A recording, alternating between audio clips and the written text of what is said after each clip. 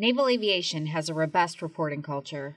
From the stories that begin, There I Was, to ASAP and the 3750.6 Sierra reporting requirements, aviation and aviation maintenance personnel have worked to identify hazards and prevent recurrence.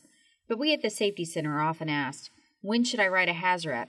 Or more pointedly, what's the point of a HAZREP? Hello, I'm Lieutenant Commander Shannon Martin, call sign Fraggle, and I'm one of the aviation safety analysts at the Naval Safety Center. Today, I'd like to help provide some of the answers to those questions. Let's start with the second question. What's the point of writing a HAZREP? HAZREPs provide a four-pronged approach to maintaining operational capability. They inform the fleet of the hazard and remedial action taken.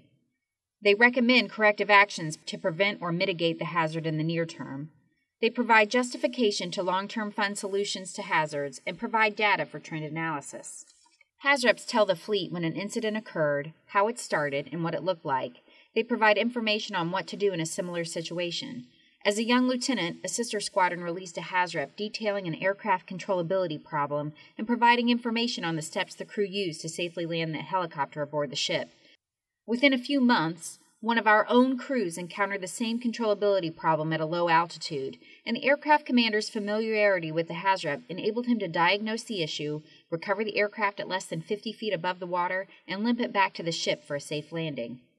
In addition to educating personnel on what to do to prevent a mishap once the hazard manifests, HAZREPs should also provide information on how the Swiss cheese aligned to cause the hazard, as well as what factors prevented the event from being a mishap, so that personnel, squadrons, and the NAE can find solutions to prevent the hazard and a possible mishap in the future. A procedure change, a new tool, a part redesign, or maybe just additional training.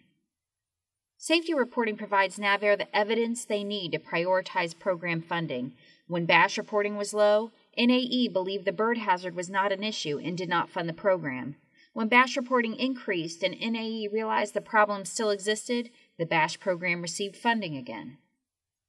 This BASH program provides information to fish and wildlife representatives on which species are a hazard in which areas, resulting in improved NOTAMs and education for aviators, along with mitigation strategies at naval airfields.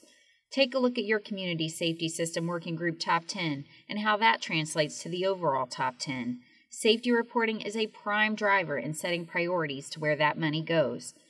It is, in fact, one of the programs of record driving NAVAIR's risk assessment for safety systems. The Naval Safety Center and the Naval Aviation Enterprise use the data collected through hazard reporting to analyze trends in naval aviation, which can reveal supply problems, procedural problems, and manning problems within certain sections or across the enterprise. When Congress, the CNO, or the Marine Commandant want to know why mishaps are happening, we can only tell them our analysis based on what you report.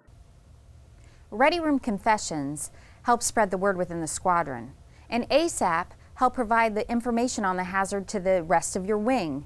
But HAZREPs provide that information to the wider community and the fleet as necessary. And they also help provide information for NAVAIR to get the funding to make those fixes. So when do you write a HAZREP? While 3750.6s provides specific guidance on required hazard reports, these include near midair collisions, unintentional out of control flight, embarked landing incidents that do not meet the mishap threshold, ATC hazards, PHYSEPs, electromagnetic interference reports, friendly fire reports, BASH, laser strikes, and hazards involving human factors. That last one involves a pretty broad definition, so think of it this way Is it a hazard to naval aviation?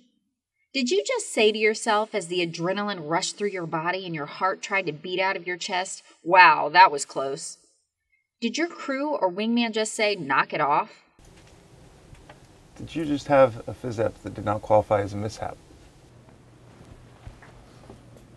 If your FLIR ball hits a Norwegian runway, you might ought to submit a HAZREP. Or any part of your aircraft on any runway. If your wingman buddy lazes you, you might ought to submit a HAZREP. If your co-pilot's NVD battery mount causes an actual helmet fire, you probably ought to submit a HAZREP. Did you just get back from a flight and have to submit a flash report, or did fatigue and complacency cause a hazard during your flight? Another great resource for finding HazReps or determining what should be a HazRep is your own ASAP reports. Every time you come back from a flight, you should be filling out the ASAP. Maintainers are also recommended to fill out ASAP reports when they find things that are going wrong. Hi, if you have a circumstance where you say to yourself, I need to talk to the skipper about this, or it's an opportunity for true confessions with your fellow air crewmen, or you have an unusual ASAP report, it's probably time to submit a hazard report. Talk to your ASO or send an email with what you know date, flight, aircraft, situation to your ASO. Like a Boy Scout, be prepared to provide more information. If the anonymity of an individual or organization is a concern, ASOs can send the report from a senior command or send an anonymous HazRep to the Safety Center. Above all, never fail to report. It is a terrible feeling to know that you had information that could have stopped a mishap from ever happening. For more information on hazard reporting, see the 3750.6S, Chapter 5.